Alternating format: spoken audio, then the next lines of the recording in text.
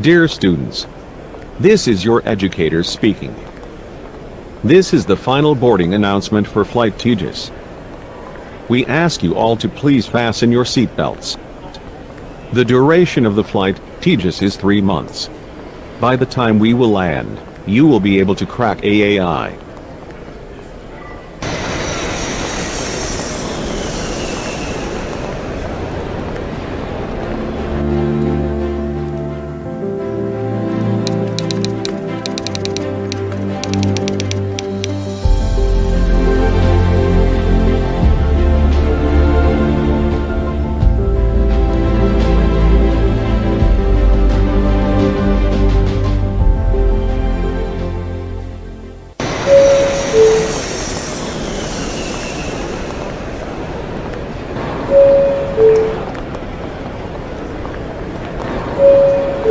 Dear students, this is your educator speaking. This is the final boarding announcement for Flight Tejas. We ask you all to please fasten your seatbelts. The duration of the flight, Tejas, is three months. By the time we will land, you will be able to crack AAI.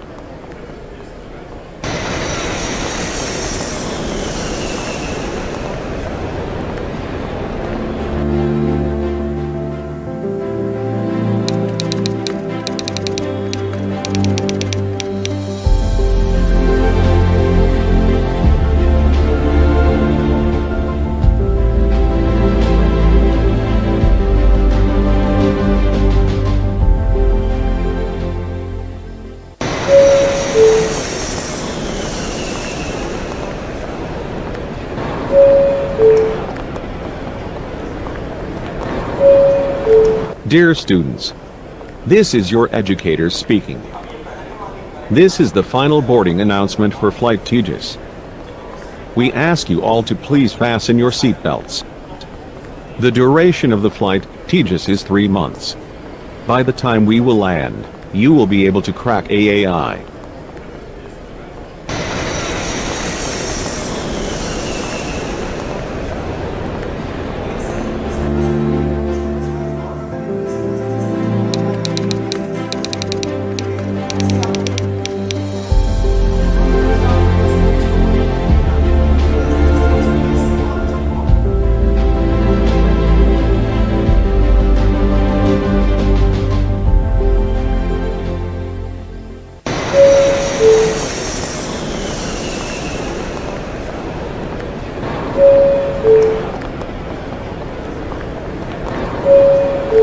Dear students, this is your educator speaking. This is the final boarding announcement for Flight Tejas. We ask you all to please fasten your seatbelt.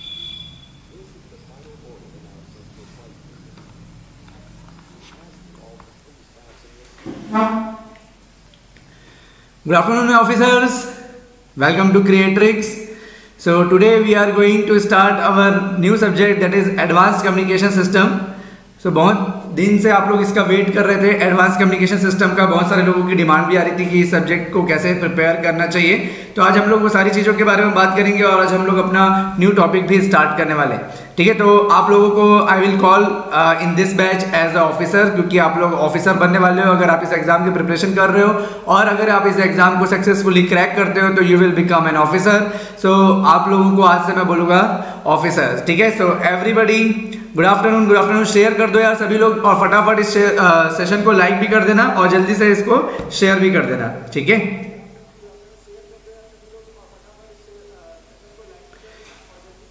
ठीक है? So I hope की voice वगैरह clear है। एक second में।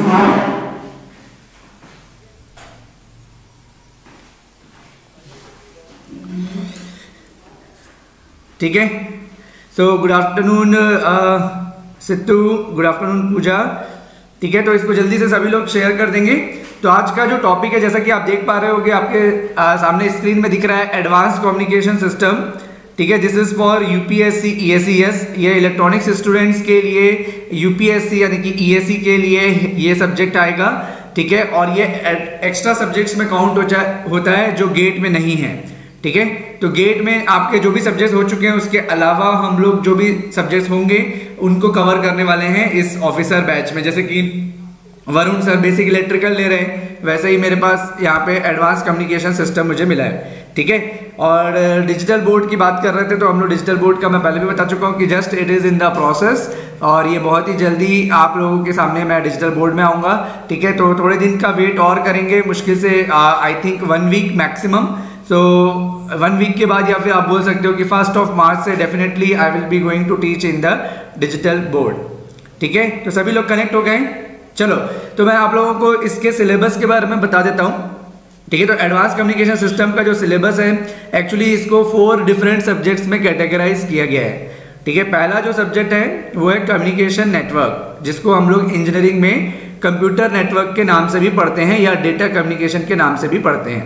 ठीक है तो कंप्यूटर नेटवर्क में या कम्युनिकेशन नेटवर्क में आपको जो पढ़ना है, वो उसके प्रिंसिपल्स पढ़ने हैं basic topologies like star topology है ना डेल्टा टोपोलॉजी ठीक है? आपका ये सारे जो टोपोलॉजी होते हैं डिफरेंट डिफरेंट टाइप्स के, वो सारे टोपोलॉजी को पढ़ने हैं। ओ मॉडल्स जो सेवन लेयर्स होते हैं इसके, ठीक है? Network layer application layer transport layer data link layer ठीक है? तो ये सारे जो लेयर्स के बारे में आप लोगों को पढ़ना है ओएसआई मॉडल में, उसकी सिक्योरिटी के पॉइंट ऑफ़ व्यू से जो जो चीज़ें इंपॉर्टेंट होती है वो पढ़ना है। बेसिक पैकेट मल्टीप्लेक्स सिस्टम जैसे कि आप पैकेट बाय पैकेट जो डेटा ट्रांसमिशन करते हो, जिसमें ऑटोमेटिक रिपीट रिक्वेस्ट ये सारी चीज़ें जो आती हैं, वो सारी चीज़ों को पढ़ना है और ऑल्सो उसके शेड्यूलिंग के बारे में पढ़ना है। So this is the first part of the syllabus जो कि कंप्यूटर नेटवर्क है।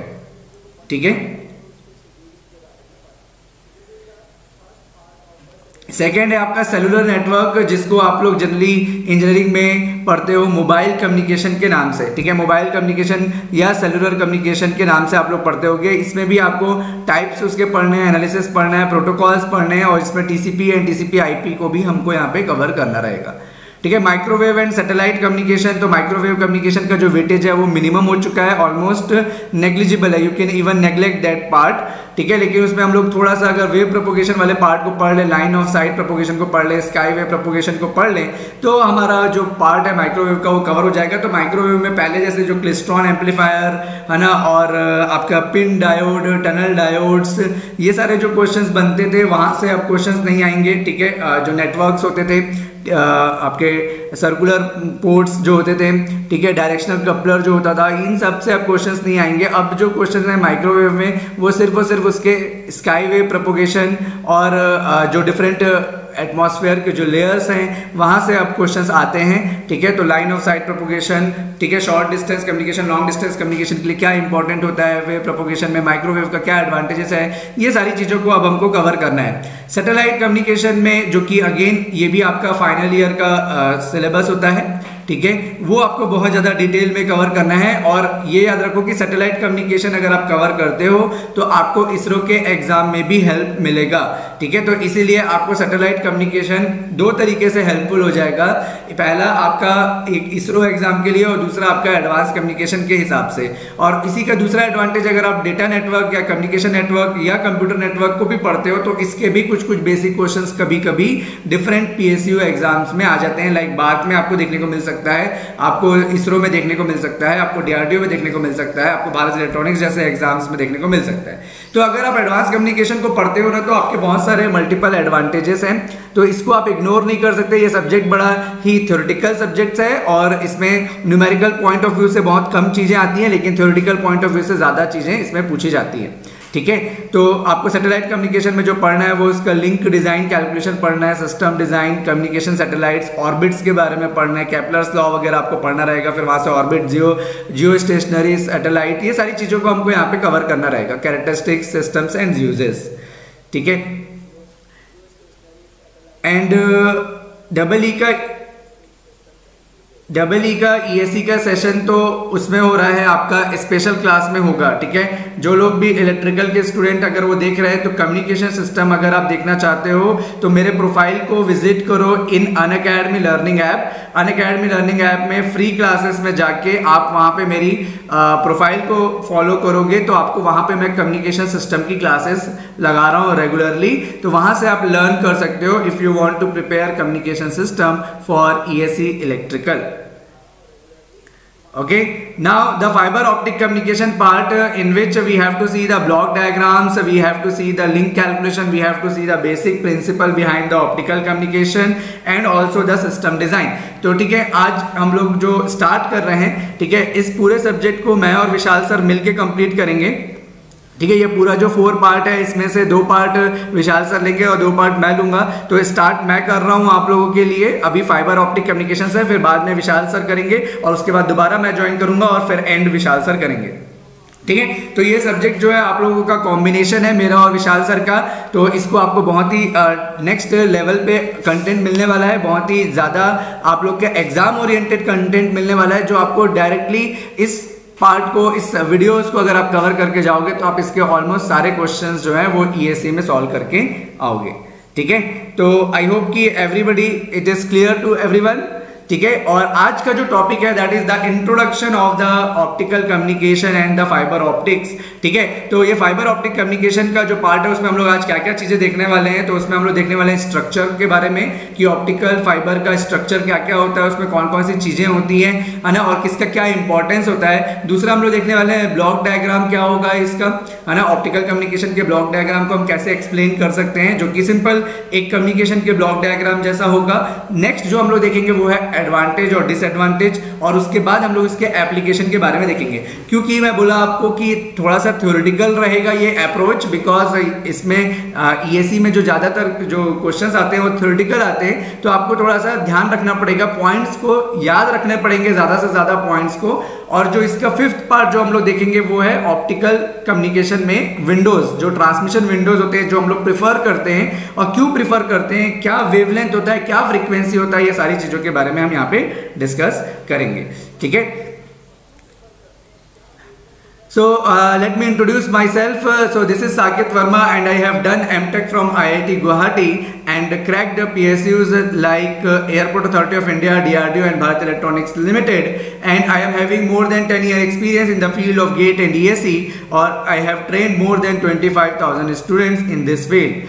Subjects जो मैं जनरली लेता हूँ that is communication system E M F T and advance communication और now it is I am also taking the physics physics for the airport authority of india, in which also i am discussing the wave optics. ठीक है तो वो optics से related ही चीज़ें वहाँ पे भी मैं डिस्कस कर रहा हूँ, यहाँ पे भी मैं डिस्कस करने वाला हूँ। तो आप लोगों को बहुत ही मज़ा आने वाला है, अगर दोनों ही बैचेस आप अगर अटेंड कर रहे हो, तेजस बैच और यहाँ पे ऑफिसर्स बैच तो आप लोगों को बहुत ही मज़ा आने वाला है। ठीक है? तो जो भी इलेक्ट्रिकल के स्टूडेंट होंगे, अगर वो मेरे को प्रोफ़ाइल में फॉलो करना चाहते हैं तो you can use this code Saket ten ठीक है? वहाँ पे आपको ई e का कम्युनिकेशन में पढ़ा रहा हूँ। तो आप यूज़ कर सकते हो ये कोड साकेट टेन और अगर आप कोई भी पेड कोर्स अगर आप ऑप्ट करते हो तो to avail the discount you can use the same code Saket ten ठीक है?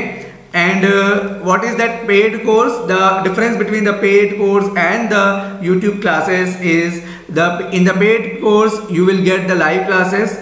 Okay in the crash courses also आपको मिलेगा रैंक इंप्रूवमेंट बैचेस भी मिलेंगे, है ना? यहाँ पे जो लाइव क्लासेस होता है, वो मोर सीरियस होता है डिसिप्लिन वे में होता है स्ट्रक्चर्ड फॉर्म में होता है एवरी फोर्थ सेशन डाउट्स होता है एवरी संडे टेस्ट होता है, ठीक है? नंबर ऑफ़ क्वेश्चन सॉल्व कराए जाते हैं, ठीक है? तो सारी चीज़ें जो है, वो लाइव क्लासेस में आपको मिलेंगी, ठीक? और इसके बाद बैचेस जो है इंग्लिश हिंदी दोनों में जैसा मैंने बताया तो ये प्लस कोर्स के एडवांटेजेस हैं। और अगर आप प्लस के अलावा अगर आप आइकॉनिक में जाते हो, जो कि इसका नेक्स्ट लेवल है, इसमें आपको ये सारे बेनिफिट मिलेंगे। उसके साथ साथ आपको एक कोच अलॉट होगा और ये कोच आपको डेली प्लान करके देगा कि आपको किस तरीके से अपने शेड्यूल को प्लान करना चाहिए। एक वीक का शेड्यूल आपका क्या होना चाहिए? वन मंथ का शेड्यूल आपका क्या होना चाहिए? ठीक है? आपको एक स्टडी मटेरियल इसमें मिलेगा प्रैक्टिस क्वेश्चन मिलेंगे। ठीक है? और साथ में आपका जो भी टेस्ट आप देते हो, उस टेस्ट में अगर कोई भी मिस्टेक हो रहा है, कहाँ पर आप लैक कर रहे हो, ये सारी चीज़ों को पूरा आपको कोच फॉलो करके देगा। ठीक है? And this is for one year and one and half year and two year अगर ये तीनों में से कोई भी सब्सक्रिप्शन आप ले सकते हो, और ये एक सब्सक्रिप्शन ऐसा नहीं है कि सिर्फ़ गेट और एसी के लिए है you can attend any batches for any other exam also कोई भी आप डिफरेंट एग्ज़ाम की प्रिपरेशन कर रहे हो और अगर उसका कोई बैच आपको पसंद आता है तो आप उस बैच में भी ऑटोमेटिकली एक्सेस आपको मिल जाएगा एक सिंगल सब्सक्रिप्शन में। चाहे वो प्लेसमेंट हो, चाहे वो आपके सेमेस्टर एग्ज़ाम्स की क्लासेस हो, चाहे वो आपका गेट हो, चाहे वो ई e हो, चाहे वो कोई भी स्टेट लेवल के एग्ज़ाम्स हो तो ये सभी चीज़ों के लिए आपको एडवांटेज देता है। तो ये single subscription not only for GATE it is for everything in the on platform ठीक है? तो वन एंड हाफ़ ईयर और टू ईयर का सब्सक्रिप्शन आपको मिलेगा। If you apply the code Saket ten तो इसमें आपको डिस्काउंट भी मिलेगा और ई e ऑप्शन भी आप अवेल कर सकते हो। ठीक है? ये हो गया आपका प्लस सब्सक्रिप्शन के बारे में। नेक्स्ट आते हैं हम लोग आइकॉनिक सब्सक्रिप्शन के बारे में। तो आइकॉनिक सब्सक्रिप्शन में हमारे पास वन ईयर और टू ईयर का प्रोग्राम होता है। You can use the same code to get the discount so batches already आज से स्टार्ट हो रही हैं गेट 23 और गेट 22 वालों के लिए। ये हमारी पूरी टीम है जो आप लोगों के लिए इस पर्टिकुलर बैचेस में क्लासेस लेंगी। ठीक है विष्णु सर है गोयल सर हैं, और भीमा शंकर सर है विशाल सोनी सर हैं। तो ये सभी आपके लेजेंडरी टीम है ये। इससे बेस्ट टीम आपको कहीं पर भी मिलेगी नहीं। ठीक है, और आपको बेसिक से एडवांस लेवल तक की प्रिपरेशन आपको कराई जाएगी इस पर्टिकुलर बैच में गेट ट्वेंटी और गेट ट्वेंटी दोनों के लिए। ठीक है, और आप इसमें भी यूज़ कर सकते हो code Saket ten clear so this is for the GATE 22 GATE 22 के लिए अगर आप प्रिपेयर कर रहे हैं तो you can use that spark batch और अगर गेट 23 के लिए आप यूज़ कर रहे हो तो आप यूज़ कर सकते हो गेट ये वर्क बैच ठीक है? गेट के लिए वर्क बैच और अगर आप ईएससी e की प्रिपरेशन करना चाहते हो with more seriousness with more discipline है ना? अभी हम लोग जो प्रिपरेशन कर रहे हैं that is also for E S C यहाँ पर आपको सारे कंटेंट फ्री मिलेंगे बट यहाँ पे आपको एक जनरल स्टडीज़ का एक बेहतरीन पैनल मिलेगा, जो आपको कहीं पे भी इससे बेस्ट पूल आपको कहीं पे भी नहीं मिलेगा।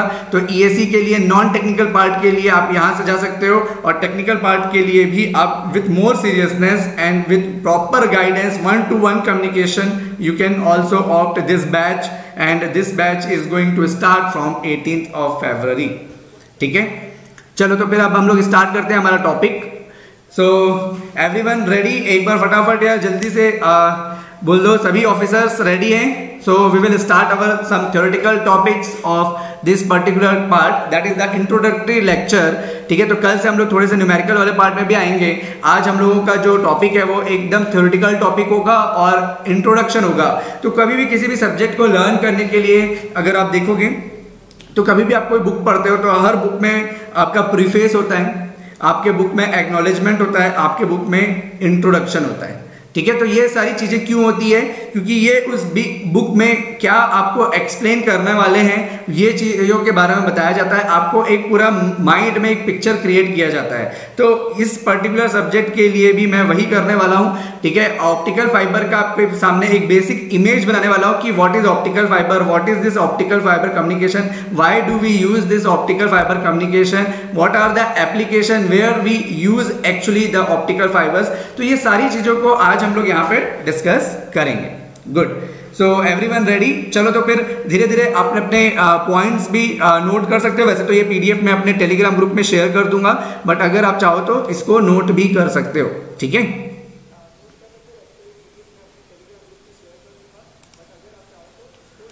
सो so, देखो फ़र्स्ट पॉइंट है हमारे पास व्हाट इज़ ऑप्टिकल फाइबर तो बेसिकली ऑप्टिकल फाइबर में तीन स्ट्रक्चर होते हैं है ना? तो तीन कंसेंट्रिक सिलेंडर्स होते हैं। और उन तीन कंसेंट्रिक सिलेंडर्स का जो जो मटेरियल होता है, वो होता है हमारा प्लास्टिक या सिलिकॉन ठीक है? Glass material in fact we can say the glass material also तो जो कंसेंट्रिक सिलेंडर्स होते हैं, वो ग्लास मटेरियल से मिलकर बनते हैं, ठीक है? तो यहाँ पे आप देख सकते हो, यहाँ पे लिखा है एक ऑप्टिकल फाइबर क्या होता है? An optical fibre is a hair thin cylindrical fibre तो मैं जैसा बोला आपको कि थ्री कंसेंट्रिक सिलेंडर्स होते हैं। आगे चल के मैं आपको स्ट्रक्चर भी दिखाऊँगा। An optical fibre is a hair thin ठीक है? हेयर थिन बहुत ही पतला होगा इसमें। Hair thin cylindrical fibre made up of glass और एनी ट्रांसपेरेंट डायलेक्ट्रिक मीडियम ठीक है? या तो वो ग्लास मटेरियल से बना होगा या तो any transparent dielectric medium the fibre which are use for optical communication are wave guides made up of transparent dielectric ठीक है? तो ये भी इसको हम लोग ट्रांसपेरेंट वेव गाइड भी बोल सकते हैं, ठीक है? That is a wave guide made up of transparent dielectrics तो optical fibre is nothing but a wave guide which is made up of transparent dielectric what is the function of this optical fiber? It is to guide the visible and the infrared light over the long distance. ठीक है so ये एक long distance तक अगर आपको travel कराना है तो ये गाइड करता है लाइट को, कौन से टाइप के लाइट को?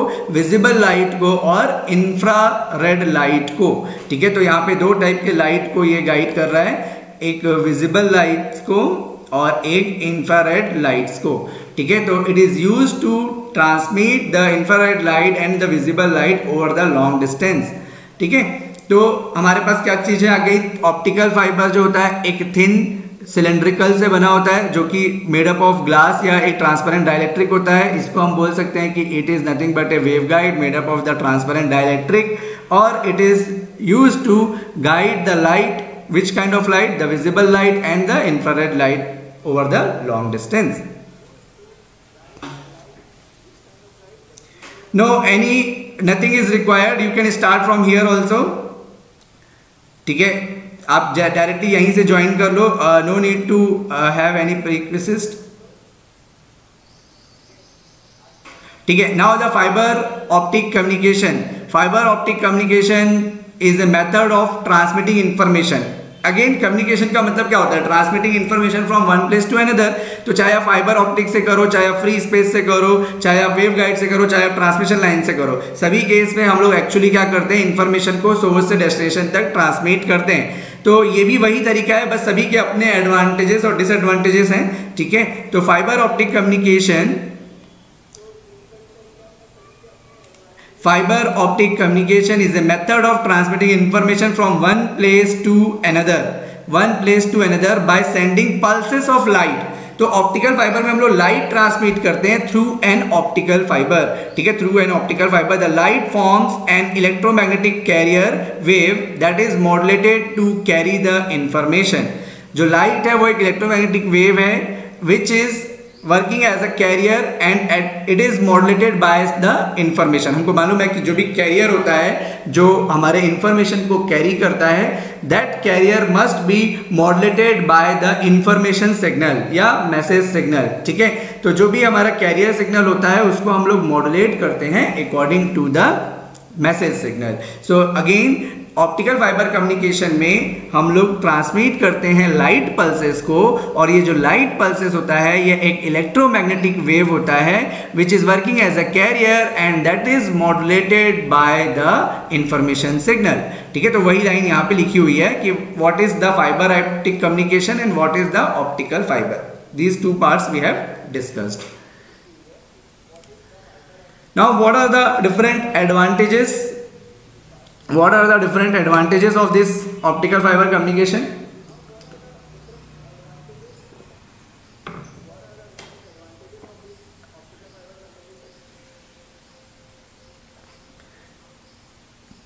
ठीक है so now the first advantage is wide bandwidth जो ऑप्टिकल फाइबर होता है, ये एक लार्ज बैंडविड प्रोवाइड करता है। ठीक है? तो हम लोग इसमें बहुत ज़्यादा जो सिग्नल है उसको ट्रांसमिट कर सकते हैं क्योंकि इसका बैंडविड बहुत ज़्यादा हाई है है ना? और ज़्यादा कैपेसिटी के साथ हम लोग ट्रांसमिट कर सकते हैं या ज़्यादा स्पीड के साथ हम लोग ट्रांसमिट कर सकते हैं। देखो the light wave occupies the frequency range two into test power ten twelve to thirty seven into test power twelve ठीक है? तो ये फ्रीक्वेंसी रेंज होता है जहाँ पे ये ऑप्टिकल फाइबर वर्क करता है that is two into test power twelve to thirty seven into tens to power twelve. ये हमारा फ्रीक्वेंसी रेंज है। Thus the information carrying capability of the optical fibre is much higher जैसा मैं आपको बोला कि अगर बैंडविड ज़्यादा होगा तो आप ज़्यादा से ज़्यादा इंफॉर्मेशन को ट्रांसमिट कर सकते हो हायर स्पीड से ट्रांसमिट कर सकते हो। So that is the advantage of wide bandwidth ठीक है, मैं जैसा आपको बोला कि थ्योरेटिकल पॉइंट ज़्यादा आएँगे तो you have to stick with the theoretical points also कि आपके पास सिर्फ़ और सिर्फ़ यहाँ न्यूमेरिकल नहीं होता ना ईएससी e में ऐसा नहीं होगा, जब आपका गेट का हैबिट है, अभी आपको उसको थोड़े से माइंडसेट को थोड़ा सा चेंज करना पड़ेगा। आप गेट में सिर्फ़ न्यूमेरिकल सॉल्व करते थे तो भी काम बन जाता था बट यहाँ पे आपका ऐसा नहीं होगा, यहाँ पे आपको कुछ थियोरिटिकल पॉइंट्स भी याद रखने पड़ेंगे।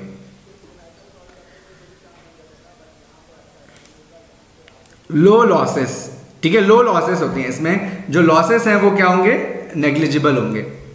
Fibre optic cables offers very less signal attenuation ठीक है, जब आप सिग्नल को ट्रेवल कराते हो किसी मीडियम से तो हमको मालूम है कि अगर मीडियम में लॉसेस प्रेजेंट हैं तो सिग्नल जो है वो एटिनेट होते जाता है ओवर द डिस्टेंस बट यहाँ पे हम लोग बोल रहे हैं कि जो ऑप्टिकल फाइबर के थ्रू जब हम लोग सिग्नल को ट्रांसमिट कराते हैं तो उसमें जो जो एटिनेशन होता है वो वेरी वेरी लेस होता है. ठीक है तो typically it is less than one dB पर किलोमीटर मतलब एक किलोमीटर ट्रैवल करने के बाद भी जो एम्पलीट्यूड में जो चेंज है, वो वन डीबी से कम होता है. ठीक है एम्पलीट्यूड में जो चेंज होगा, वो वन डीबी से कम मतलब हम लोग बोलेंगे कि पॉइंट वन फैक्टर से भी वो कम रिड्यूस होगा। ठीक है so this is the low loss and immune to cross talk ठीक है क्रॉस टॉक मतलब इंटरफेरेंस काइंड ऑफ़ यू बोल सकते हो। Since fibre optic cables are non conductors है ना, इसमें कोई कंडक्टिंग मटेरियल नहीं है। Of electricity hence they do not produce magnetic field क्योंकि कंडक्टर होता है तो उसमें करंट फ्लो होता है करंट फ्लो होता है तो मैग्नेटिक फ़ील्ड जनरेट होता है। तो यहाँ पे ये इम्यून टू क्रॉस टॉक है मतलब इसमें कोई क्रॉस टॉक देखने को नहीं मिलेगा, क्योंकि इसमें कोई भी कंडक्टर नहीं है, और कंडक्टर नहीं है तो उसमें मैग्नेटिक फ़ील्ड भी जनरेट नहीं होगा। दस fiber optics are immune to crosstalks between the cable caused by the magnetic induction ठीक है?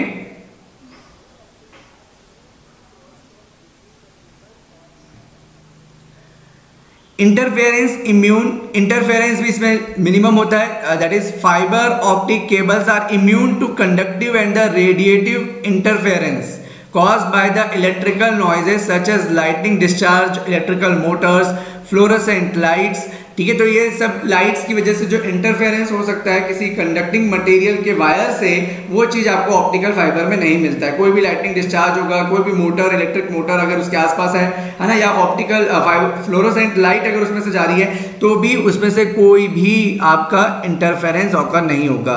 So this is the fourth advantage of fibre optic communication light weight होता है, ठीक है? As the fibre cables are made up of the silica of glass silica glass और the plastic material which is much lighter than the copper और the aluminium cables light weight fibre optics are the cheaper to transport also ठीक है?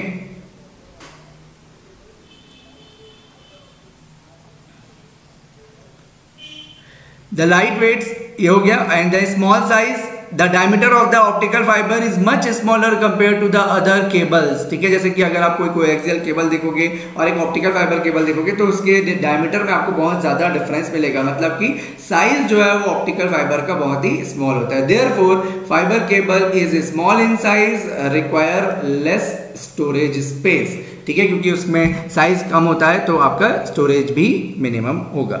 ठीक है? तो ये सारे points clear है। तो व्हाट आर द एडवांटेजेस ठीक है एवरी डे ये one two one and half hour का सेशन होगा। मैं आप लोगों को बता दूँ कि ये जो सेशन होने वाला है ये वन से वन एंड हाफ़ आवर के बीच में होगा। ठीक है एक से डेढ़ घंटे का सेशन होगा ये।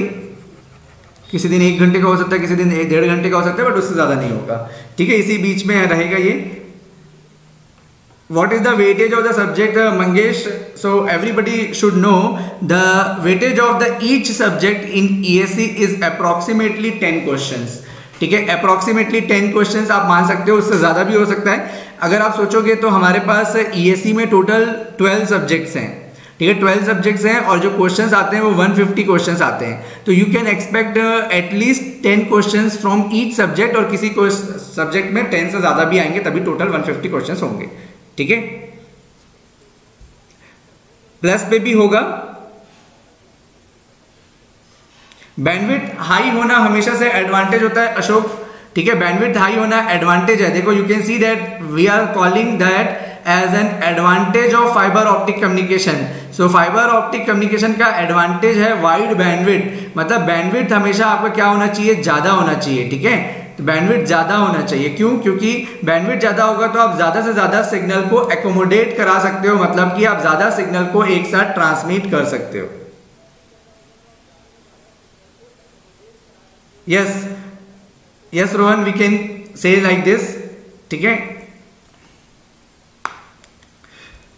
प्लस पे भी होगा प्लस पे भी एडवांस कम्युनिकेशन होगा एंड uh, आपको प्लस अगर आप ज्वाइन कर रहे हो या ज्वाइन कर चुके हो तो वहाँ पे भी मिलेगा आपको ये एडवांस कम्युनिकेशन बिल्कुल। Yes correct Rohan high bandwidth provides high data rate what about quality factor quality factor के बारे में हम लोग बात करेंगे बाद में। अभी इसके क्वालिटी फैक्टर के बारे में अभी यहाँ पे हम इस स्टेज पे बात नहीं कर सकते हैं। ठीक है?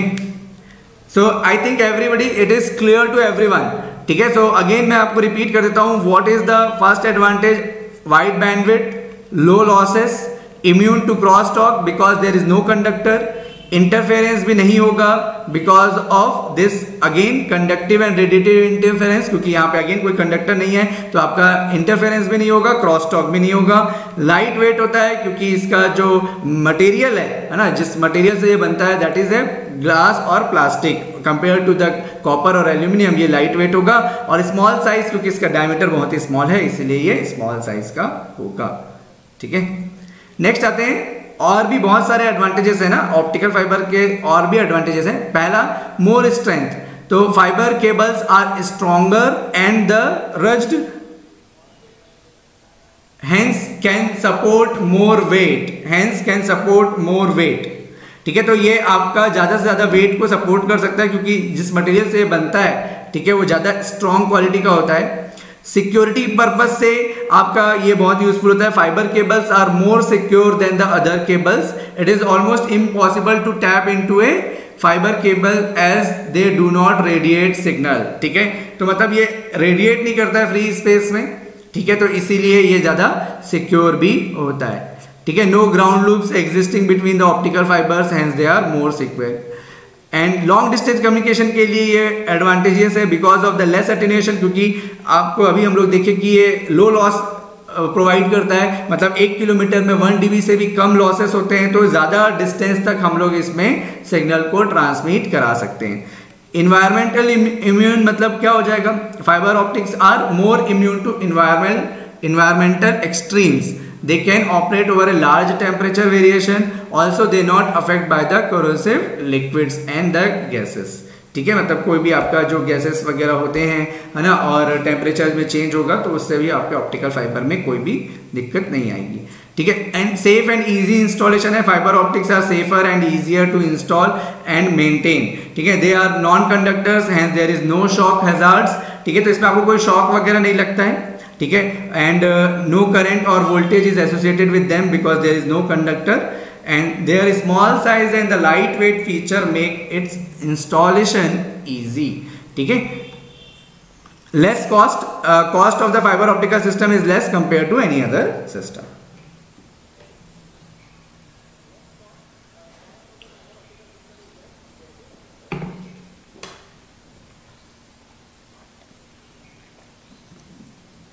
ठीक है प्लस पे एग्जैक्टली कब स्टार्ट होगा आई डोंट नो और सेमेस्टर uh, वाले बिल्कुल देख सकते हैं क्योंकि सारे थ्योरेटिकल पॉइंट्स भी मैं कवर कराता रहूँगा आप लोगों को स्लाइड के थ्रू तो सेमेस्टर एग्ज़ाम वाले भी काफ़ी लोग देख सकते हैं।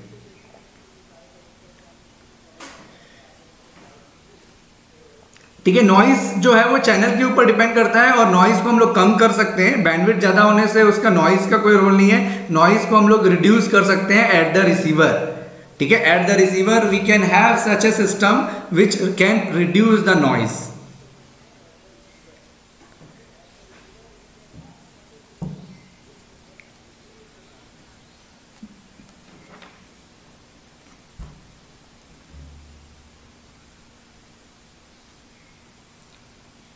fibre optic के बाद मोस्ट प्रोबेबली सैटेलाइट कम्युनिकेशन होगा।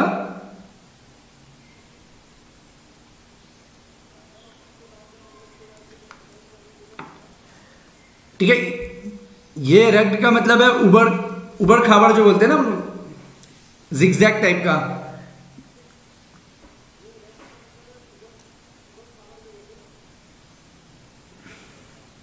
ठीक है? चलो। नेक्स्ट आ जाएगा डिसएडवांटेज तो कुछ ना कुछ तो इसके डिसएडवांटेज भी होंगे अगर आ, वैसे तो एडवांटेजेस बहुत ज़्यादा हैं बट उसके कंपैरिजन में डिसएडवांटेजेस को अगर हम लोग काउंट करते हैं तो स्ट्रेंथ की बात करते हैं तो optical fibres have a significantly lower tensile strength than the coaxial cable this can be improved by मतलब अगर ये जो टेंसाइल स्ट्रेंथ है ऑप्टिकल फाइबर का क्योंकि ये कम होता है कोएक्सियल का तो इसको इम्प्रूव करने के लिए क्या किया जा सकता है? तो हम लोग प्रोटेक्टिव जैकेट लगा सकते हैं पीवीसी मटेरियल का।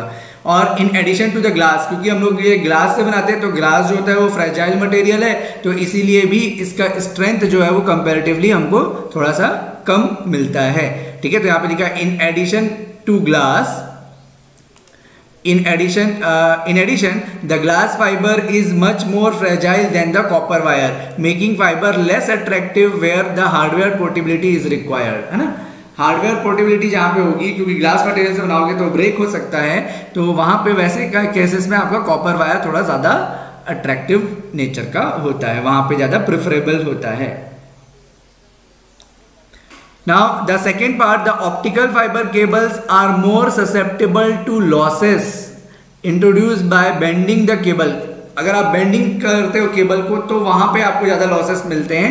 Electromagnetic waves propagate through there optical fibre by either refraction और रिफ्लेक्शन ठीक है? क्योंकि ऑप्टिकल फाइबर कम्युनिकेशन का जो प्रिंसिपल होता है that is total internal reflection तो यहाँ पे ऑप्टिकल फाइबर में जो लाइट्स प्रपोगेट होती हैं that will be just because of either the refraction और द रिफ्लेक्शन ठीक? कंजिकेटिव जो रिफ्लेक्शन मिलता है, उसकी वजह से। So therefore bending the cable causes अगर आप बेंड करोगे तो there will be some regularities in the cable dimension and resulting है लॉस सिग्नल पावर ठीक है तो यहाँ पे आपका सिग्नल का जो पावर है that can be lost because of the bending of the optical fibre because there will be some irregularities yes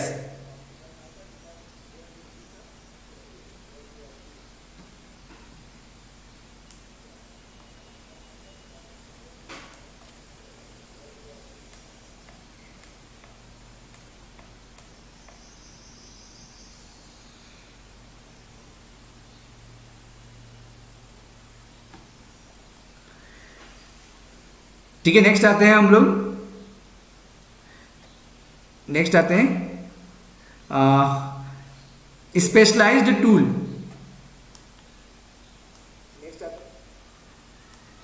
ठीक है स्पेशलाइज्ड टूल तो अगर आपको किसी ऑप्टिकल फाइबर को कट करना है तो उसको नॉर्मली हम लोग कट नहीं कर सकते, क्योंकि वो इस टाइप के मटेरियल से बना होता है कि आप उसको नॉर्मली ऐसे पिन से कट नहीं कर सकते। उसके लिए आपको स्पेशल इक्विपमेंट्स चाहिए रहते हैं या स्पेशल वायर कटर चाहिए रहता है। तो यहाँ पे वही चीज़ बोल रहा है स्पेशलाइज्ड टूल का मतलब वही है। Optical fibre cables require special tool to splice and repair the cable है ना? अगर आपको केबल को रिपेयर करना है या स्प्लाइस करना है तो उसके लिए हम लोगों को ये स्पेशल टूल चाहिए होता है। और अगर टेस्टिंग वगैरह करना है तो भी उसके लिए एक अलग इक्विपमेंट चाहिए रहता है। Not only repairing is difficult and expensive but technician working on optical fibre also require special skills मतलब आपको जो टेक्नीशियन आप जिसको रखोगे, उसको भी आपको प्रॉपरली ट्रेन करना होगा।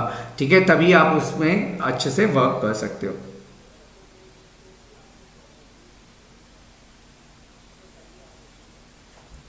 Sometimes it is difficult to locate faults in the optical cables because there is no electrical continuity. ठीक है तो ये फॉल्ट लोकेट करना भी डिफ़िकल्ट होता है। नेक्स्ट आते हैं हम लोग इसके ब्लॉक डायग्राम में। ठीक है तो एडवांटेजेस और डिसएडवांटेज देख लिए कि डिसएडवांटेज में हम लोग देखें कि स्ट्रेंथ उसका कम होता है, एक स्पेशल टूल चाहिए होता है और साथ में हम लोगों का ऑप्टिकल फाइबर जो है वो लॉसेस के लिए भी मोर ससेप्टेबल होता है बिकॉज़ ऑफ़ द बेंडिंग ठीक है तो तीन टाइप के डिसएडवांटेज है जो कि बहुत ज़्यादा मेजर डिसएडवांटेज नहीं है, ठीक है?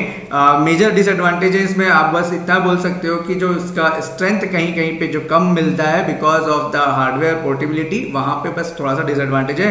अदरवाइज़ तो आज के डेट में इक्विपमेंट्स वगैरह सभी हमारे पास हैं प्रॉपर तो उसको हम लोग यूज़ कर सकते हैं कटिंग स्प्लाइसिंग के लिए और टेक्नीशियन को भी अब तो हम लोग को टेक्नीशियन भी इजिली मिल जाते हैं जो इसको, इस कुछ स्पेशल ट्रेनिंग के लिए बहुत ज़्यादा रिक्वायरमेंट नहीं होती। वो जो भी कंपनी होती है, वो डेफिनेटली उसको प्रोवाइड करती ही है। है ना? तो क्योंकि ये हमारे लिए ज़्यादा एडवांटेजेस प्रोवाइड करता है तो हम लोग इस चीज़ पे ज़्यादा फोकस करते हैं कि ऑप्टिकल फाइबर कम्युनिकेशन हमारा क्योंकि ज़्यादा स्पीड एंड ऑल सभी चीज़ हमको मिलती है तो इसीलिए हम इसको ज़्यादा प्रेफर करते हैं। ठीक है? अब आते हैं हम लोग ब्लॉक डायग्राम में। ठीक है? तो एडवांटेज और डिसएडवांटेज देख लिया अब आते हैं ब्लॉक डायग्राम में कि किस तरह से आपका सिग्नल जो है, वो ट्रांसमीटर से रिसीवर तक जाता है। तो हमको ये मालूम है कि कम्युनिकेशन में भी यही होता था कि तीन बेसिक ब्लॉक्स होते हैं जो कि सबसे ज़्यादा इंपॉर्टेंट होते हैं किसी भी कम्युनिकेशन सिस्टम में। पहला होता है ट्रांसमीटर दूसरा होता है चैनल और तीसरा होता है रिसीवर तो these three blocks are the heart of any communication system तो यहाँ पे क्या होता है देखो, यहाँ पे आपका मैसेज जो होगा ओरिजिनेट होगा। ओरिजिनेट होकर मॉडलेटर में जाएगा। मॉडलेटर इसको एक सुटेबल फॉर्म में कन्वर्ट करता है और जो भी, जिस भी सुटेबल फॉर्म में कन्वर्ट करता है कैरियर में जो कैरियर वेव जनरेट होगा, उसके कैरेक्टरिस्टिक्स को चेंज करेगा मतलब मॉडुलेशन करेगा, ठीक है?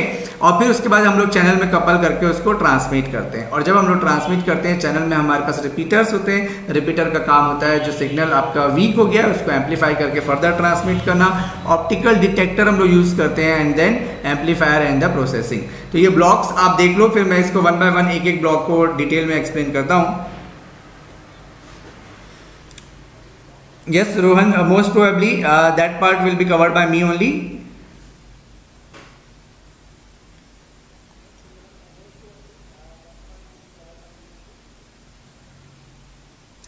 अभी यहाँ पे मैं आगे बताऊँगा शुभम कि क्या क्या चीज़ें हम लोग यूज़ करते हैं। ये ब्लॉक डायग्राम आपको क्लियर है क्या? मतलब इसमें कोई दिक्कत तो नहीं है। ब्लॉक डायग्राम आप देख लिया। अब एक एक ब्लॉक को मैं डिटेल में बताऊँगा कि क्या क्या फंक्शनिंग होती है। तो उसके बाद हम लोग देखते जाएँगे। ठीक है? ये देखो। देखो, मैं बोला कि पहला जो ब्लॉक था वो मैसेज ओरिजिन था। मैसेज कहाँ से आएगा? तो देखो मैसेज कहाँ से आएगा? Generally message origin is from the transducer transducer क्या करता है? कोई भी नॉन इलेक्ट्रिकल सिग्नल को इलेक्ट्रिकल सिग्नल में कन्वर्ट करता है। ठीक है तो यहाँ कन्वर्ट करेगा non electrical signal to electrical signal जैसे कि एग्ज़ाम्पल है हमारा माइक्रोफोन है ना? जो भी हमारा साउंड वेव है, उसको करंट वेव में कन्वर्ट करने का काम करता है माइक्रोफोन जो भी हमारा ऑब्जेक्ट है इमेज है, उसको करंट में कन्वर्ट करने का काम करता है टीवी कैमराज ठीक है? For data transfer between the computer the message is already in the electrical form ठीक है? मतलब अगर आप कंप्यूटर से डायरेक्टली ट्रांसमिट करना चाहते हो तो वो तो ऑलरेडी इलेक्ट्रिकल फॉर्म में ही होता है. ठीक है? तो हमारे पास जो मैसेज होगा, वो सिंपल ट्रांसड्यूसर के थ्रू इलेक्ट्रिकल सिग्नल में कन्वर्ट कर दिया जाएगा। अब उसको हम लोग भेज दिए किसमें मॉडुलेटर में। तो मॉडुलेटर क्या करेगा? It convert the electrical message into proper format proper format का मतलब है कि उसको प्रॉपरली हम चैनल से ट्रांसमिट कर सके, उस सुटेबल फॉर्म में कन्वर्ट कर देगा। दूसरा it impresses this signal on to the wave generated by the carrier source what does it mean तो कैरियर में जो कैरियर वेव जनरेट होगा, है ना? कैरियर सोर्स मतलब कोई भी एक कैरियर वेव जनरेट होगा जो हम लोग कम्युनिकेशन में पढ़ते हैं लाइक कोसाइन वेव या साइन वेव ठीक है? तो ये कॉस वेव या साइन वेव को यहाँ पे जो आपने मॉडलेटर में जो मैसेज सिग्नल जनरेट हुआ, वो इस कैरियर सिग्नल में इंप्रेस हो जाएगा। दैट मीन्स ये जो कैरियर के जो कैरेक्टरिस्टिक्स हैं, वो इस मैसेज सिग्नल के अकॉर्डिंग चेंज हो जाएँगे। ठीक है? सो यहाँ पे दो टाइप के मॉडुलेशन हो सकते हैं. एनालॉग मॉडुलेशन भी हो सकता है डिजिटल मॉडुलेशन भी हो सकता है. ठीक है? तो this is the function of modulator modulator का फ़ंक्शन हमको कम्युनिकेशन के कंसेप्ट से ही पता है कि modulator convert the message signal into the form which is suitable to transmit through a channel अगर आपको चैनल से ट्रांसमिट करना है तो हम लोग मॉडुलेशन फॉर्म करते हैं. ठीक है कैरियर सोर्स क्या होता है? तो carrier source generate the wave on which the information is transmitted what is the function of carrier carrier का फ़ंक्शन होता है to carry the message signal so carrier source क्या करेगा? एक ऐसा कैरियर सिग्नल जनरेट करेगा, जो मैसेज सिग्नल को कैरी करेगा। ठीक है? This wave is called carrier okay for the fibre optic system a laser diode laser के थ्रू हम लोग जनरेट कर सकते हैं लाइट एमिटिंग डायोड के थ्रू हम लोग जनरेट कर सकते हैं, क्योंकि अल्टीमेटली हमको क्या जनरेट करना है? लाइट्स जनरेट करनी है।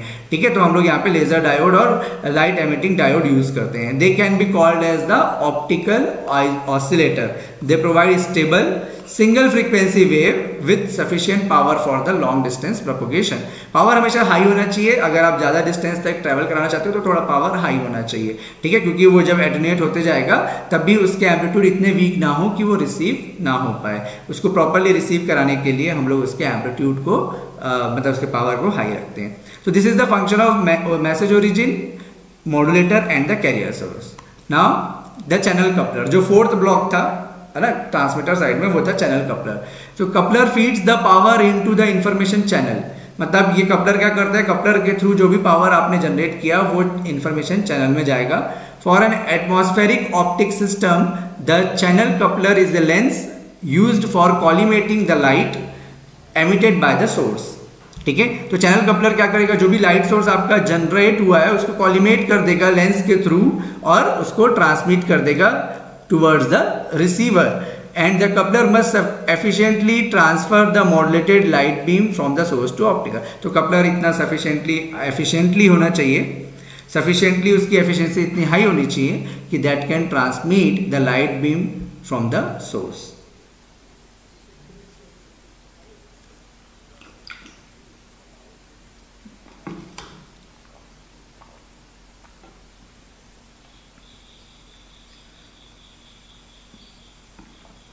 doubt अगर पूछना है किसी को टेलीग्राम में तो वो मेरे को पर्सनली मैसेज कर सकता है, ठीक है? कोई दिक्कत नहीं है। टेलीग्राम में जिनके पास भी मेरा टेलीग्राम लिंक है, वो मेरे को वहाँ मैसेज करके डाउट पूछ सकता है, ठीक है?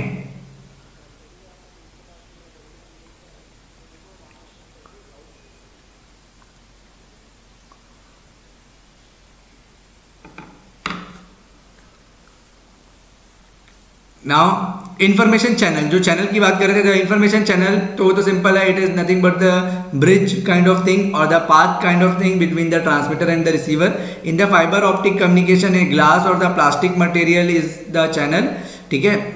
Desired characteristics of the information channel include low attenuation channel में हमेशा एटिनेशन लो होना चाहिए। लार्ज लाइट एक्सेप्टेंस कौन होना चाहिए? मतलब मैक्सिमम से मैक्सिमम लाइट को वो कैरी कर सके, वो प्रॉपर्टी होनी चाहिए। ऑप्टिकल एम्पलीफायर एक ऐसा एम्पलीफायर होना चाहिए जो आ, क्योंकि जैसे जैसे वो डिस्टेंस ट्रेवल करते जा रहा है एटिनेट होता जा रहा है तो हमारे पास ऐसा एम्पलीफायर होना चाहिए जो उसके पावर लेवल को एम्पलीफाई कर सके ताकि वो वीक ना हो। ठीक है? Amplifier are needed in very long link to provide sufficient power to the receiver repeater हम लोग यूज़ कर सकते हैं फॉर अ डिजिटल सिस्टम ठीक है? और they convert weak and distorted optical signals to the electrical one and then regenerate the original digital pulse train तो ये हम लोगों को रिपीटर का कंसेप्ट जो है, वो डिजिटल कम्युनिकेशन से पता है कि वो बेस्ड ऑन थ्रेश होता है। अगर वो थ्रेश पे वर्क कर रहा है है ना?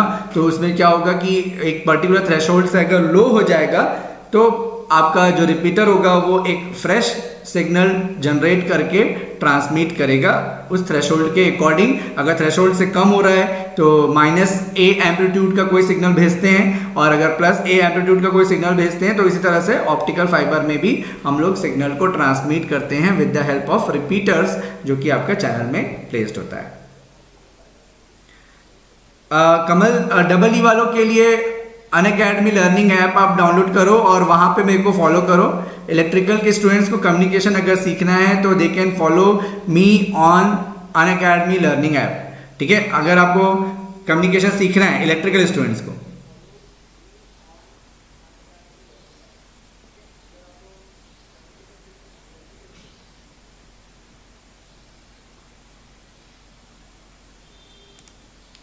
ऑप्टिकल डिटेक्टर कौन कौन से होते हैं? तो फ़ोटो डिटेक्टर जो लाइट को डिटेक्ट कर सके। तो आप लोग इसको ईडीसी में पढ़े भी होंगे थोड़ा बहुत।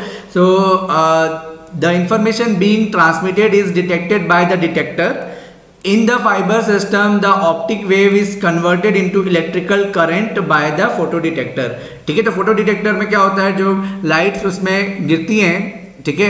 तो फिर वो क्या होगा? उसको कन्वर्ट कर देता है इलेक्ट्रिकल सिग्नल में। तो ये वाला पार्ट हम लोग देखेंगे जब हम लोग रिसीवर वाला पार्ट देखेंगे या फिर बोल सकते हो कि लाइट एमिटिंग डायोड और फ़ोटो डिटेक्टर ये सब हम लोग आगे चल के डिस्कस करेंगे। ठीक है? The components of the transmitter and receiver the current developed by the detector is proportional to the power of the incident wave जो भी आपका करंट डेवलप होगा वो पावर इंसिडेंट वेव के पावर के प्रोपोर्शनल होगा। In this way the detector can detect the information signal so the detector output current contains the transmitted information this detector output is then filter to remove the constant bias and then amplified. ठीक है? Signal processing में क्या होगा? Signal processing includes filtering amplification मतलब receiver में final output लेने से पहले आप उसमें इन आ, कोई भी नॉइज़ के फिल्टरिंग कर सकते हो एम्पलीफाई कर सकते हो वीक सिग्नल को। Proper filtering maximize the ratio of signal to unwanted power ये वही चीज़ मैं बोल रहा था। है ना? फिल्टरिंग करने से क्या होगा? जैसे मैच फ़िल्टर के थ्रू ट्रांसमिट करते हैं तो signal to noise ratio improve हो जाता है। तो that is what we can do in the signal processing part and amplification मतलब अगर एम्पलीट्यूड लो है तो आप उसको हाई कर सकते हो। For a digital system decision circuit can be additional block है ना? अगर आपका कोई डिजिटल कम्युनिकेशन हो रहा है तो आप रिसीवर साइड में क्या लगा सकते हो? एक थ्रेशोल्ड डिटेक्टर लगा सकते हो, जहाँ पे हम लोग डिटेक्ट करेंगे या डिसीज़न लेंगे ज़ीरो एंड वन के फेवर में। The binary error rate should be very very small for the quality of communication ठीक है? तो ये भी हमको पता है कि जो एरर की प्रोबेबिलिटी होती है या प्रोबेबिलिटी ऑफ़ एरर जिसको हम बोलते हैं, वो हमेशा कम होना चाहिए। जो वन है, वो एज अ वन ही रिसीव होना चाहिए, जो ज़ीरो है एज अ ज़ीरो रिसीव होना चाहिए। ठीक है? Message output the electrical form of the message emerging from the signal processor are transform in to sound wave sometime these signals are directly usable on the computers मतलब अगर आपको किस form में output चाहिए, वो आप यहाँ पे यूज़ कर सकते हो। मतलब आप ये बोल सकते हो कि you can use the output transducer है ना? अगर आपको डिजिटल फॉर्म में डेटा चाहिए तो इट इज़ ओके और अगर आप चाहते हो उसको नॉन इलेक्ट्रिकल सिग्नल में कन्वर्ट करना तो then you should have a transducer. So, these are the functioning of the block. ठीक है? तो मेरे ख्याल से ये ब्लॉक डायग्राम भी सभी को क्लियर हो गया होगा। ठीक है तो ये ब्लॉक डायग्राम क्लियर हो गया। है yes electrical students Aarti you can follow me on Unacademy learning app for your communication electrical students के कम्युनिकेशन के लिए अन अकेडमी लर्निंग ऐप में डेली क्लासेस चल रही हैं। You can see the community post ठीक है कम्युनिटी पोस्ट भी आप देख सकते हो क्रिएट्रिक्स चैनल पे। और आपके पास पिन कर दिया हूँ मैं। कमेंट मैंने पिन कर दिया है, आप उसको भी फॉलो कर सकते हो, ठीक है, आरती? कमेंट देखो, आप पिन किया हुआ एक कमेंट आपको दिख रहा होगा। उसको क्लिक करो you will directly go in to the particular profile where the communication system is running for the electrical student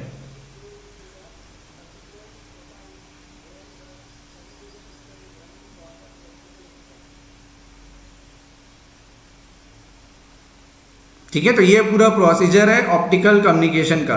तो इसमें क्या है ना ट्रांसमीटर और रिसीवर में ट्रांसमीटर में हमारे पास एक लाइट एमिटिंग डायोड या लेजर होना चाहिए, क्योंकि ऑप्टिकल है। ऑप्टिकल में हम लोग लाइट को ट्रांसमिट करते हैं तो इस टाइप के हम हमारे पास डिवाइसेस होने चाहिए ट्रांसमीटर साइड में। और रिसीवर में क्योंकि हमको लाइट रिसीव करना है तो ये फ़ोटो डिटेक्टर वाली चीज़ें होनी चाहिए, ठीक है?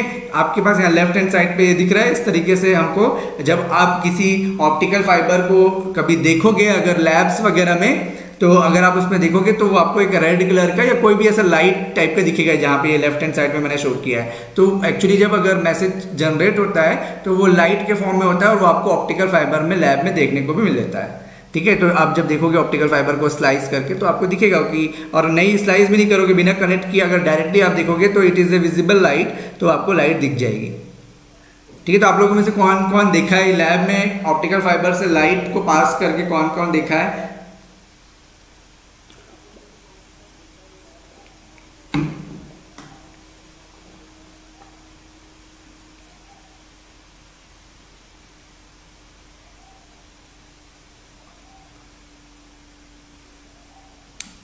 Yes, rohan. Good. ठीक है now next coming to the yes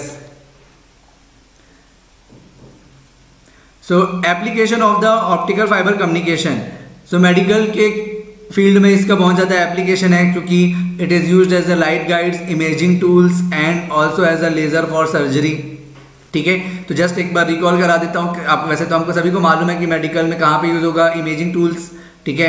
और जो आपका इमेज प्रोसेसिंग एमआरआई वगैरह होता है, जहाँ पे भी लैंप लाइट से हम लोग करते हैं, ठीक है? लेज़र हो गया लेज़र सर्जरी के लिए, ठीक है? डिफेंस डिफेंस में यूज़ होता है। Hydrophones for seismic and sonar uses wiring in aircraft submarines सभी जगह इसका यूज़ है डिफेंस में। Data storage use for the data transmission computer network में भी हम लोग इसी का यूज़ करेंगे। टेलीकम्युनिकेशन में भी हम लोग इसी का यूज़ करते हैं। Networking used to connect the users and the servers in a variety of network settings.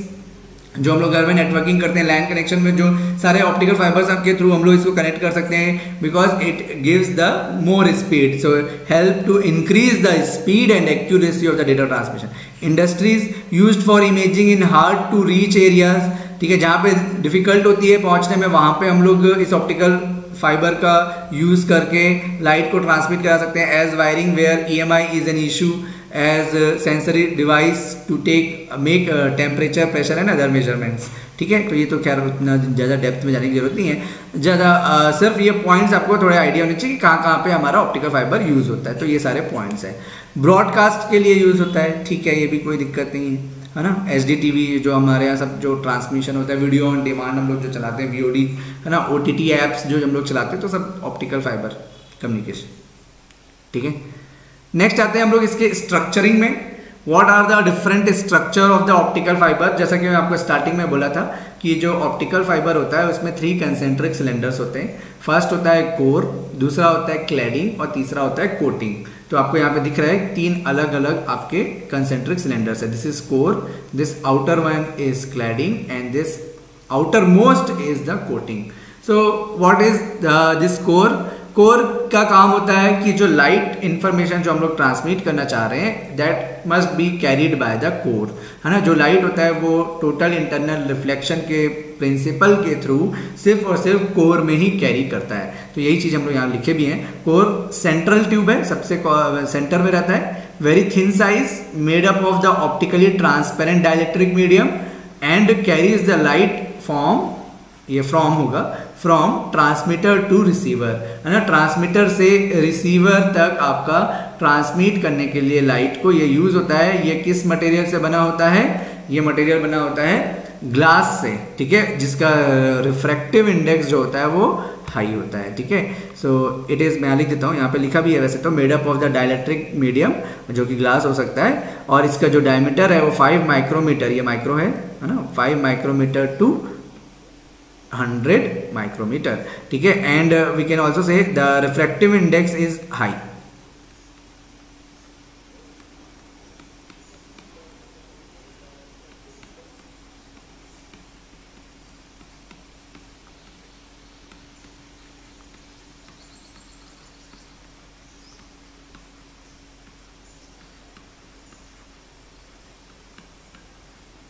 ठीक है? Refractive index is higher than the cladding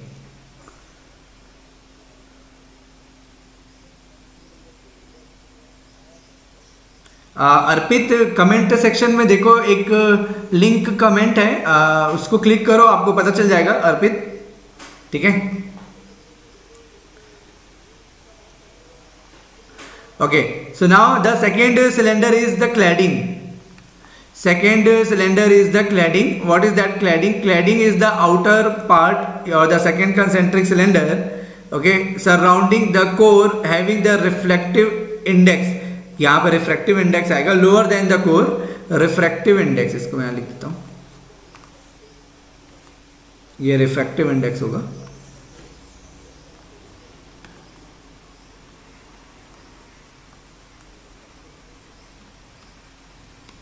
ठीक है refractive index lower than that of the core है ना? Cladding का जो refractive index होता है, वो लोअर होता है। क्योंकि जब लाइट जो है वो प्रोपोगेट होता है, वो कौन से प्रिंसिपल के थ्रू होता है? T I R which is total internal reflection तो टोटल इंटरनल रिफ्लेक्शन तभी ऑकर होगा जब लाइट जो है वो डेंसर से रेयर मीडियम में जाए। तो डेंसर के लिए रिफ्लेक्टिव इंडेक्स हाई होना चाहिए और रेयर के लिए रिफ्लेक्टिव इंडेक्स कंपेयर टू कम होना चाहिए। तो इसीलिए क्लैडिंग का रिफ्लेक्टिव इंडेक्स को हम लोग कोर से कम रखे हैं सो दैट ये जो डेंसर से रेयर मीडियम का जो हमारा रिक्वायरमेंट है, वो फुलफिल हो सके और टोटल इंटरनल रिफ्लेक्शन ऑकर हो सके। ठीक है तो यहाँ पे आ जाएगा ये total internal reflection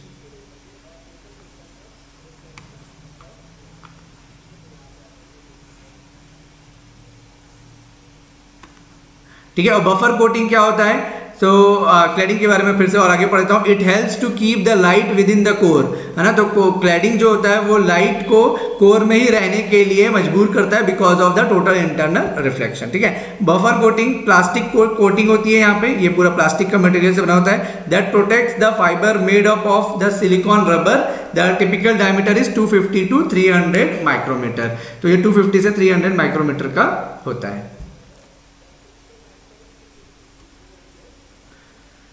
So what are what is the transmission window जहाँ पे ये ऑप्टिकल फाइबर कम्युनिकेशन जहाँ पे यूजफुल होता है? Which what are the these transmission windows so it is the wavelength region which offers very low attenuation कहाँ पे हमको सबसे ज़्यादा जो एटिनेशन है वो मिनिमम मिलता है। ठीक है? तो एटिनेशन मिनिमम हमको मिलेगा इस पर्टिकुलर ट्रांसमिशन विंडोज़ में। तो ये विंडो का रेंज आपको याद रहना चाहिए। ठीक है? क्योंकि ये आपको कभी भी विंडो के बारे में पूछा जा सकता है। तो ये बिल्कुल आपको याद होना चाहिए। ठीक है?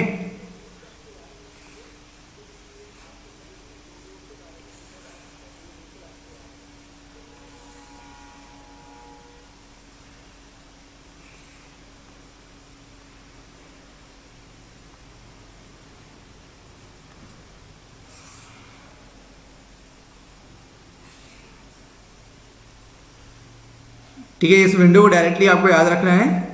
कौन कौन से विंडोज़ होते हैं? तो तीन टाइप के यहाँ पे विंडो दिए हुए हैं। एक है आपका 800 से 900 नैनोमीटर ठीक है, और ऑपरेटिंग वेवलेंथ इस रेंज में होता है 850 और यहाँ पे सोर्स जो हम लोग यूज़ कर सकते हैं, वो होता है एलईडी और LED and multi mode application और यहाँ पे हाई लॉसेस होते हैं और शॉर्ट डिस्टेंस कम्युनिकेशन होता है। इसके कंपैरिजन में हम लोग नेक्स्ट विंडो की बात करते हैं। तो हमारे पास जो नेक्स्ट विंडो का रेंज है वो 1260 से 1360 है और इसका जो ऑपरेटिंग वेवलेंथ है वो 1310 है। यहाँ पे लेजर और सिंगल मोड में यूज़ होता है और नेग्लिजिबल डिस्पर्शन लॉस होता है। तो डिस्पर्शन क्या होता है, ये हम आगे चल के पढ़ेंगे। ठीक है? और 1500 से 1600 ये 1550 इसका ऑपरेटिंग वेवलेंथ है। लेजर मोड अगेन यहाँ पे यूज़ होता है। लो एटेन्यूएशन प्रोवाइड करता है। लार्ज ट्रांसमी ट्रांजिशन लिखा है ट्रांसमिशन रेंज होगा। Large transmission range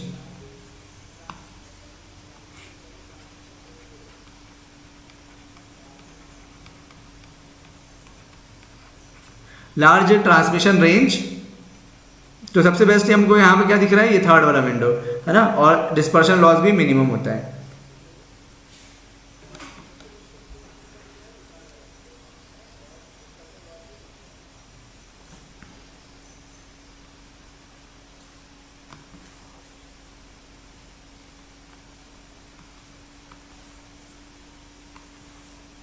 ठीक है? और दूसरा आता है इलेक्ट्रोमैग्नेटिक वेव वेवलेंथ और फीचर्स तो इसमें हमारे पास आई आर रीजन है इंफ्रारेड रीजन इसमें वेवलेंथ है 700 नैनोमीटर से 1 नैनोमीटर और यहाँ पे आ जाएगा हमारे पास preferred for optical system not detected by eye है ना? क्योंकि इंफ्रारेड है, इसको आप आई से नहीं डिटेक्ट कर सकते। विजिबल रीजन में आपका 390 नैनोमीटर से 770 नैनोमीटर और यहाँ पे आ जाएगा, ये वन पिकोमीटर होना चाहिए शायद।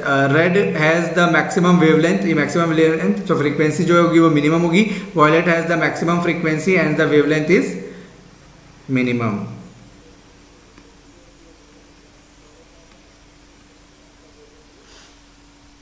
ठीक है एंड यूवी रेंज जो है 10 नैनोमीटर से 390 नैनोमीटर है absorb by the solid substance इसमें हाँ। ये इसमें कंफ्यूज नहीं होना, ठीक है, यहाँ पे देख लो आप, ये मैक्सिमम वेवलेंथ लिखा है, यहाँ पे वेवलेंथ मिनिमम लिखा है, ठीक है विपग्योर से आपको मालूम है विपग्योर जो हम लोग कलर पढ़ते हैं विपग्योर है ना? तो वॉयलेट का जो फ्रीक्वेंसी होता है, वो सबसे ज़्यादा होता है और रेड का सबसे कम होता है तो वेवलेंथ के टर्म्स में जस्ट ऑपोजिट होगा।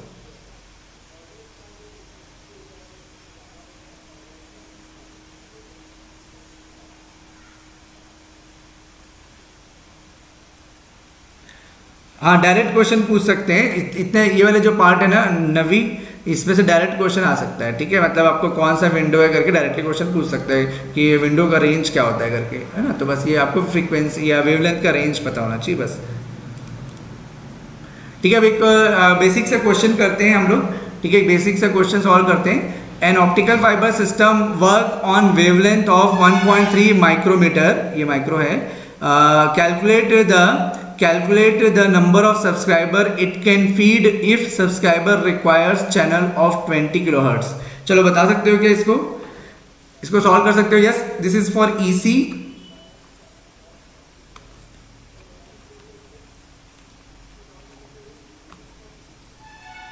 ये माइक्रोमीटर है, ठीक है? वेवलेंथ अब मैं लिख देता हूँ कि गिवन डेटा क्या है?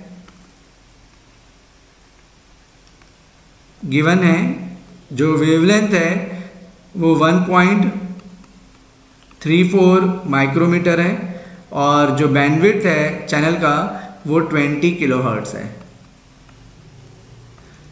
तो कितने सब्सक्राइबर लगेंगे? नंबर ऑफ़ सब्सक्राइबर बताना, कितने सब्सक्राइबर आप यूज़ कर सकते हो जो 20 किलोहर्ट्ज का बैंडविड्थ यूज़ कर सकते हैं?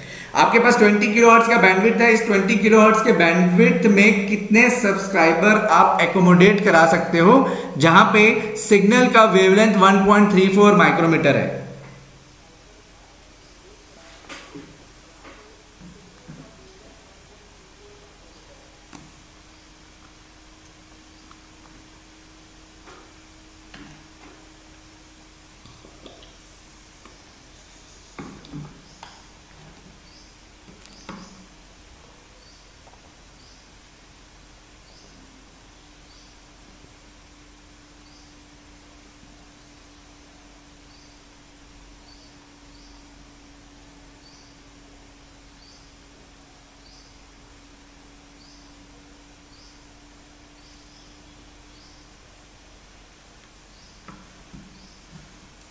देखो, ये अगर हमारे पास वेवलेंथ है तो इसके करस्पॉन्डिंग फ्रीक्वेंसी कितनी होगी? So we know that lambda is equal to what C upon F so यहाँ से हम लोग निकाल लेते हैं फ्रीक्वेंसी तो फ्रीक्वेंसी कितना हो जाएगा? Three into ten raised power eight divided by इसका wavelength one point three four into ten raised power minus six ठीक है तो ये इसकी फ्रीक्वेंसी हो गई. तो नंबर ऑफ़ सब्सक्राइबर कितने होंगे? Number of subscriber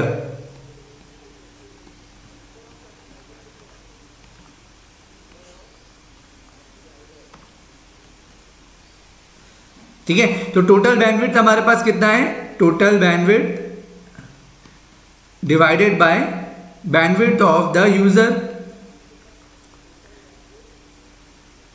single user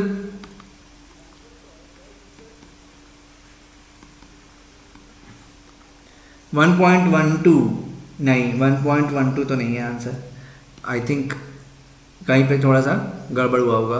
calculation में भी twenty into ten raised power three whole divided by इसको सॉल्व करो तो three into ten to the power eight divided by one point three four into ten to the power minus six ठीक है, इसको solve करेंगे तो ये आ रहा है one one point one five आ रहा है। इंटू टेनेस्ट पावर टेन ठीक है, रोहन, मेरे ख्याल से सही होगा आपका थोड़ा सा मे बी कैलकुलेशन का दिक्कत होगा।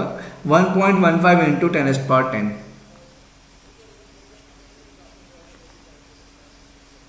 achiever ये तेजस बैच है एटीसी के लिए, है ना? Tejas batch is for air traffic controller ठीक है? तो आप उसको फॉलो कर सकते हो that will be in the five o'clock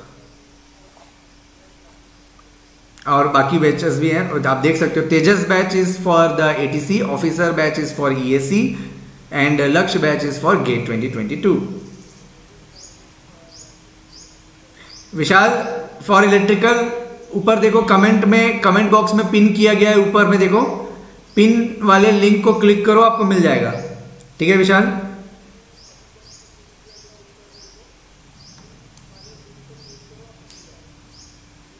हाँ कैसे हटाओगे आपका हैबिट आप इसको सॉल्व करो बाई हैंड ही सॉल्व करने की कोशिश करो, तभी हो पाएगा, है ना? ऐसे थोड़े बहुत कैलकुलेशन रहेंगे आपके पास। चलो यह क्वेश्चन सॉल्व करो तो।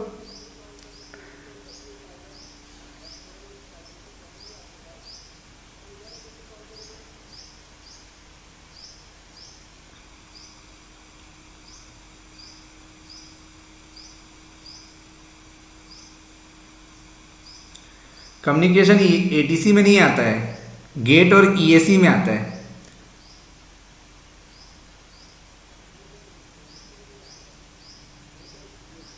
इट्स ओके ऋषभ आप समझ गए, वही बहुत बड़ी बात है है ना? देर आए दुरुस्त आए वाला हिसाब होता है तो कोई बात नहीं है। मतलब मैं कभी स्टूडेंट्स की बातों का बुरा नहीं मानता। अब मुझे पता है कि स्टूडेंट्स को पूरा ब्रेन वॉश किया गया और उसके बाद उनको ट्रेन किया गया है ना कि इस टाइप की चीज़ें की जाए तो आ, अगर आपको किसी ने मिसगाइड किया और आपने उसकी वजह से आ, कुछ गलत थॉट्स लाए अपने माइंड में तो इट इज़ ओके अगर आप समझ गए हो तो that is very very good हाँ डीआरडीओ में कम्युनिकेशन आएगा। पूरा एडवांस कम्युनिकेशन यूट्यूब पे होगा Ankit. Zero point four micrometre very good ठीक है Rohan yes you are correct so that is very simple question actually number of subscriber मुझे दिया हुआ है यहाँ पे. नंबर ऑफ़ सब्सक्राइबर जैसा कि हम लोग लास्ट वाला क्वेश्चन किए थे, है ना? तो यहाँ पे टोटल बैंडविड्थ हमारे पास ये भी दिया हुआ है चैनल का बैंडविड्थ और यहाँ पे आपको क्या पूछा है? Each subscriber required a channel of width of 25 so bandwidth of each subscriber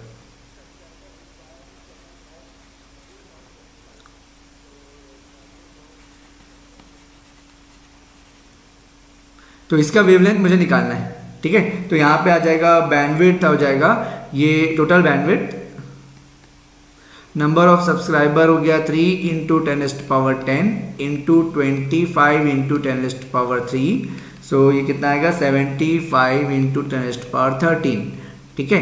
और इसका मुझे वेवलेंथ निकालना है तो lambda is equal to what C upon F so this is three into ten raised power eight divided by seventy five into ten raised to power thirteen so so, यहाँ से कितना आ गया? सेवन और मतलब seven means zero point four micrometre है ना? यही बोल रहे थे?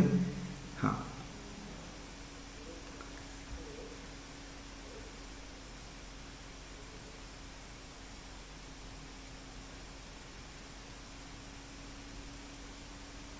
विशाल E S C double E का तो चैनल में ऑलरेडी मैं बताया ना भाई आपको विशाल सैनी। आपको चैनल को फॉलो करना है। अगर आप इलेक्ट्रिकल के लिए प्रिपेयर करना चाहते हो तो you have to follow the sorry Unacademy learning app Unacademy learning app follow करो। ठीक है? तो मेरे ख्याल से आज का टॉपिक हम लोगों को कवर हो गया, ठीक है? तो आज का टॉपिक हम लोगों को कवर हो गया है। तो आज हम लोगों ने थ्योरेटिकल पार्ट पढ़ा, कल हम लोग पढ़ेंगे लाइट प्रोपोगेशन के पीछे जो कंसेप्ट होते हैं, वो सारी चीज़ें जो कि बिल्कुल सेम है गेट के जैसा। ठीक है तो tomorrow we are going to discuss about the light propagation through optical fibre we are also going to discuss about the acceptance angle numerical aperture critical angle total internal reflection denser to rare medium refractive index etc. So tomorrow we are going to discuss the light propagation through optical fibre आज का जो हम लोगों का topic था, एक बार मैं फिर से कंक्लूड कर देता हूँ। आज हम लोगों ने क्या क्या पढ़ा है? पहला हम लोग पढ़े कि ऑप्टिकल फाइबर क्या होता है, उसमें थ्री कंसेंट्रिक सिलेंडर्स होते हैं, वो वेव गाइड होता है ट्रांसपेरेंट डायलेक्ट्रिक से मिलकर बनता है है ना? किस तरीके से उसमें से एडवांटेजेस होते हैं, उसका बैंडविड्थ हाई होता है less immune to high immune to the interference होता है क्रॉस टॉक्स नहीं होते हैं लेस वेट होता है लो कॉस्ट होता है, ठीक है एटसेट्रा वो सारे पॉइंट्स हम लोग के पास ऑलमोस्ट ट्वेल्व से थर्टीन तक उसके एडवांटेजेस थे। थ्री डिसएडवांटेजेस थे क्योंकि हमारे पास इक्विपमेंट्स नहीं होते हैं। ट्रेनिंग के लिए एक्स्ट्रा कॉस्ट हमको लगाना पड़ता है और बेंडिंग करने की वजह से उसमें रेडिएशन लॉस हो सकते हैं because of reflection and reflection strength कम होता है क्योंकि ग्लास मटेरियल से बनता है तो जहाँ पे पोर्टेबिलिटी की रिक्वायरमेंट होती है, वहाँ पे उसका स्ट्रेंथ लो हो जाता है। इसके बाद हम लोग कुछ ट्रांसमिशन विंडोज़ के बारे में पढ़े कि कौन कौन से विंडोज़ यानी कौन कौन से वेवलेंथ पे वो प्रॉपरली वर्क करता है। इसके डिफरेंट एप्लीकेशन के बारे में पढ़े कि कहाँ कहाँ पे ये यूज़ होता है। मेडिकल में यूज़ होता है डिफेंस में यूज़ होता है एटसेट्रा ठीक है? नेटवर्किंग में यूज़ होता है हाई स्पीड जहाँ चाहिए होता है, वहाँ यूज़ होता है, ये सारी चीज़ों को हम लोग पढ़े और उसके बाद फिर हम लोगों ने एक दो न्यूमेरिकल्स टाइप के बेसिक से बैंडविड से रिलेटेड कि किस तरीके से आप सब्सक्राइबर यानी नंबर ऑफ़ यूज़र्स को एकोमोडेट करा सकते हो इन द गिवन बैंडविड ठीक है? तो नेक्स्ट क्लास हम लोग बता चुका हूँ, मैं लाइट प्रोपोगेशन हम लोग पढ़ेंगे।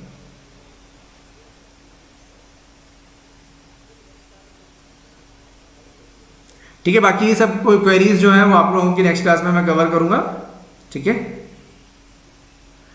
तो इलेक्ट्रिकल स्टूडेंट हो, चाहे इलेक्ट्रॉनिक्स स्टूडेंट हो they can follow this spark batch and work batch and that is for GATE 2022 and GATE 23 electrical हो, चाहे इलेक्ट्रॉनिक्स के स्टूडेंट हो, सभी लोग इस बैच को ज्वाइन कर सकते हैं। ये बैच आज से स्टार्ट हो रहा है है ना? और ये हमारी पूरी टीम है जो इस बैच के अंदर आपको गाइड करेगी okay okay? So you can follow me on Unacademy Unacademy में फॉलो करने के लिए जो इलेक्ट्रिकल के स्टूडेंट हैं, वो अगर मेरे से कम्युनिकेशन पढ़ना चाह रहे हैं ई e के लिए तो आप लोग इस प्रोफ़ाइल को विज़िट करें और प्रोफ़ाइल को विज़िट करके मेरे को फॉलो करो तो आपको जो भी मेरी क्लासेस होंगी कम्युनिकेशन की, उसके नोटिफिकेशन आते रहेंगे, जिसकी डेली शेड्यूल है नाइन पी नाइट को। ठीक है? एवरी रात को नौ बजे आप लोगों की क्लासेस होंगी। ठीक है? सो बाकी हम लोग कल पढ़ते हैं। ठीक है? And don't forget to subscribe the channel and also don't forget to subscribe the Telegram channel of the creators GATE double E and तो इसको भी सब्सक्राइब करना नहीं भूलना और इसमें आपको सारे क्लास के नोटिफिकेशन मिल जाते हैं। और these are the India number one channel that is creative GATE double E electrical junction Unacademy GATE question engineering Pathshala ये सारे इलेक्ट्रिकल इलेक्ट्रॉनिक्स के हैं और बाकी सारे अपने फ्रेंड्स को भी आप बोल सकते हो कि अन अकेडमी के डिफरेंट चैनल्स को विज़िट करें। ठीक है? सो थैंक यू गाइज़ मिलते हैं शाम को पाँच बजे। शाम को पाँच बजे तेजस बैच है। तेजस बैच में आज हम लोग पढ़ेंगे इंटरफेरेंस और रात को नौ बजे इलेक्ट्रिकल वालों का कम्युनिकेशन होगा, जिसमें हम पढ़ेंगे amplitude modulation thank you love you all and don't forget to like the video